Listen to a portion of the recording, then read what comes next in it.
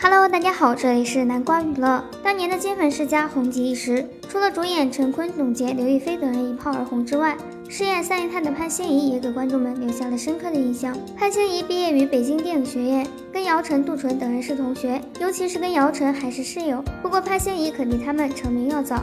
二零零二年，年仅二十二岁的她就加盟了当年的大爆电视剧《金粉世家》走红。之后的潘欣怡片约不断，成为了当时炙手可热的女演员。随后又搭档了李幼斌、佟大为、徐静蕾等人，参演了多部电视剧。潘欣怡原本可谓是星途坦荡，可是不幸悄然而至。令人没想到的是，她一次在家中接电话的时候，意外滑倒撞破了鱼缸，导致玻璃碎片扎进了大动脉，最后失血过多去世，年仅二十九岁。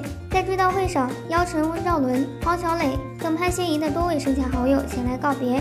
作为大学室友的姚晨一路痛哭，甚至晕了过去，不免让人觉得生命的脆弱不堪。如果潘欣怡当年没有发生意外，说不定现在的娱乐圈还有她的一席之地。大家还记得潘欣怡吗？